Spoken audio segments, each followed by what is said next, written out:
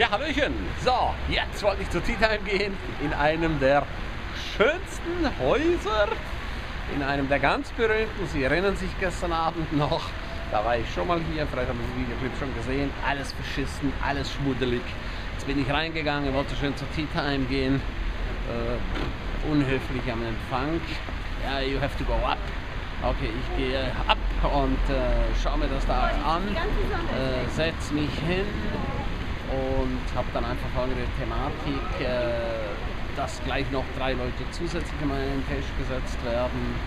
Das möchte ich einfach nicht Tea Time. Es gibt keinen Pianisten, also ich muss sagen, da fehlt es für mich ganz einfach am Ambiente klar Stress. Ich habe ein Foto gemacht, große ARIB, ganz, ganz, ganz viele Menschen da.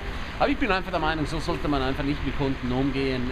Das finde ich einfach sehr, sehr unklug. Ich habe also immer, ohne jetzt ihren Namen zu nennen, das so gedacht, dass, boah, absolut Hammerkette, absolut cooles Hotel mit High Level. Muss aber sagen, dass ich jetzt wirklich sehr enttäuscht bin. Aber es passt vielleicht auch zum Himmel hier. Es fängt jetzt an zu schneien, der Himmel weint. Naja, ich stelle mir halt einfach vor in so einem Haus, dass man super tollen Service macht und auch nicht, dass der Kellner dann sofort neben einem steht und, und, und äh, so wartet nach dem Motto, ja, was ist jetzt? Und dann kommt er dann auf die Idee und ja, ich lasse ihm ein paar Minuten Zeit. Ja, danke schön, dass ich mich einfach installieren kann. Ja? Viel zu klein auch für die Tea Time auf der Terrasse, also innen drin. Das verstehe ich nicht. Die große Halle ist leider nicht involviert, da kann man keine Tea Time machen. Also ich erwarte hier einfach in solchen Häusern, so wie ich es auch von St. Moritz kenne oder sonst wo auf der Welt, schöne Lobby, schöne Tea Time, schönen Pianist, der spielt, wo man einfach die Seele baumeln lassen kann. Funktioniert nicht hier, aber ich denke, der Laden wird eh ausgebucht sein jetzt über Ostern. Also kommt es letzten Endes nicht darauf an. Das erlebe ich leider sehr, sehr, sehr oft in der Hotellerie. Es brummt ganz einfach, wenn man irgendwo einen Namen hat, da muss man sich gar nicht groß bemühen.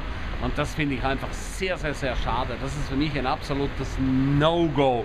Aber es gibt halt einfach auch so Häuser, das sind sogenannte Selbstläufer. Aber Frage, wie lange noch? Ja? Wann wird sich das ändern? Und ich bin mir ganz, ganz sicher, das wird sich für alle ändern. Viele, viele Top-Hotels sind auch schon in die Knie gegangen, weil irgendwann einfach Kunden ausbleiben, weil irgendwann haben die Kunden einfach die Nase voll. Und das ist für mich jetzt auch hier ich wollte hier auch hingehen, ich wollte hier auch mal wohnen, äh, weil ich es einfach toll finde, mit super tollem Ausblick. Aber ich muss sagen, nein, nach dem, was ich gestern gesehen habe, wie das teilweise schmuddelig ist, wie die Fenster nicht gewaschen sind und und und, wie auch draußen alles verschissen ist mit äh, Kot. Äh, ja, wie heißt es so schön, so wie außen, so innen das gleiche ist oder so wie innen so aus. Und ich denke, das passt irgendwo ein bisschen zusammen. Ja, jetzt, was mache ich jetzt? Jetzt muss ich mal gucken, wo ich zur Tea Time gehe werde irgendwo äh, in einen Kaffee gehen, äh, mal schauen, wo ich sonst wieder noch ein Hotel finde, wo ich rein kann zur Tea Time. Das gehört einfach irgendwo dazu, einfach so diese Celebration.